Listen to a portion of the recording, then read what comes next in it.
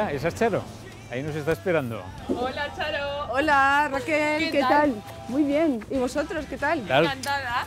¿Pasando mucho frío o qué? Un poco, un poco de frío, pero parece que hoy el día está un poco más despejado. Sí. ¿Otra aragonesa? Sí, claro. sí. Ya os lo he dicho, ¿no? Que soy de Escatrón. Escatrón. Y ¿Cómo nada, se lleva el estar aquí? Bueno, un poco, al principio, un poco regular, para no decir mal. Por eso, por el tema del tiempo, ¿no?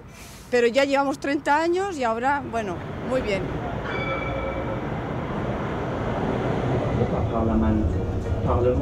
No es el tranvía de Zaragoza, pero muy similar. ¿Por qué?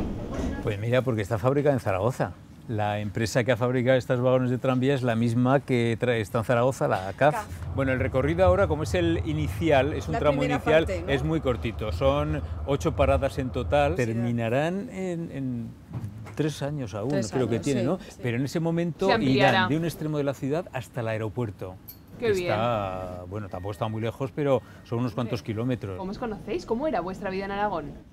Eh, Bueno, Nosotros nos conocimos en la En universidad. la universidad. Y si yo estaba preparando mi examen, aún me acuerdo, Manuel, de Mesopotamia, del- de filosofía. Y nada, empezamos a hablar. Y a partir de entonces, ¿no?